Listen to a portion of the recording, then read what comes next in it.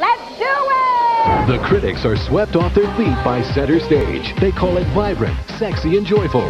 It makes you want to get up and dance. Woo! Don't miss Center Stage, rated PG-13. Opens everywhere tomorrow.